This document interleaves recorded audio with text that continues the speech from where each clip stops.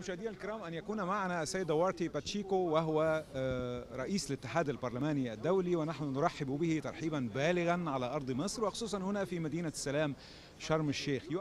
نحن نرحب بك هنا في مصر يا سيدي. أنا سعيد جدا بوجودي هنا في مدينة شرم الشيخ أرض السلام. You have this warm relationship between you أعلم أن لديك علاقة جيدة بالدكتور حنفي الجبالي رئيس مجلس النواب المصري. هل لك أن تخبرنا عن هذه العلاقة من فضلك؟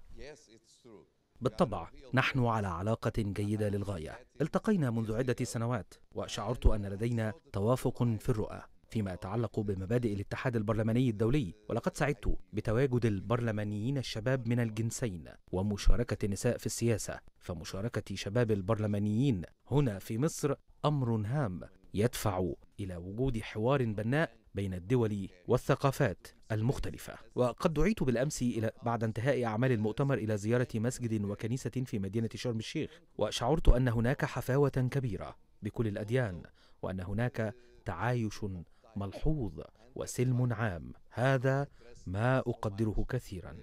ما نراه في مصر هو الاستقرار وهو أمر هام للوصول إلى التنمية.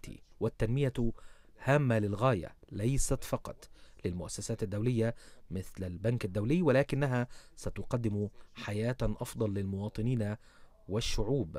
لذلك فإن الديمقراطية والاستقرار مرتبطين ببعضهم البعض ونحن نشعر بذلك.